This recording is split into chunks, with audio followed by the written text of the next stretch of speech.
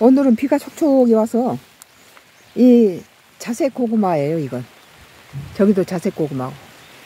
저기를 꿀고구마고.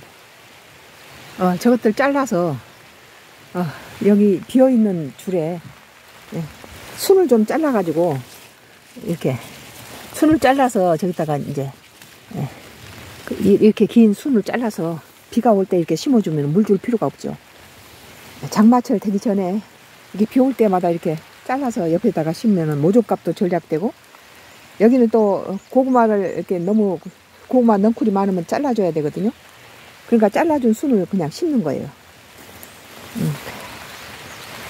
여기는 이제 가지가 또 꽃이 피네 보라색 꽃이 피어서 가지도 금방 따먹겠어요. 음. 토마토도 토마토도 꽃이 많이 폈어요. 어, 아, 토마토도 꽃이 피고, 음, 토마토가 조그만 게 열리네요. 토마토도 꽃이 피고, 여기 수박도, 수박도 좀, 아이고, 수박이 조그만 게 열렸네요. 아, 아이고, 아이고, 세상에. 이 수박 열린 것 좀 보세요. 음. 화면이 너무, 저 수박 열린 게 보이나요? 아, 수박 열렸어요. 아, 수박 열렸어요. 참 재밌어요. 어, 여기도 있네요. 여기도 수박이 열렸어요. 수박이 열렸네. 음. 이건 모종, 모종을 심은 거고, 저기는 또 씨앗, 씨를 심는 수박이 또 열리고 있어요. 음, 여기는 방울토마토인가 봐요. 방- 방울토마토 꽃이 많이 폈어요.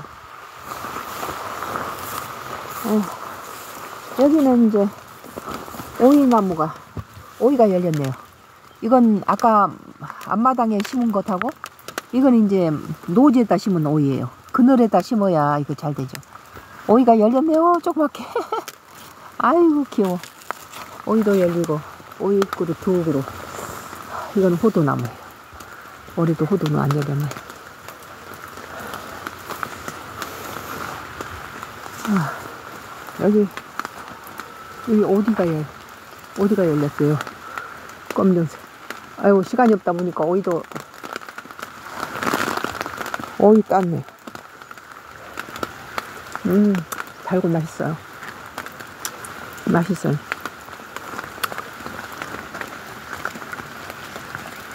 어, 농사이기 때문에 저기도 오이 많이 열렸대. 시간이 없어 못 따요 응, 꺾어서 심어야 되겠네.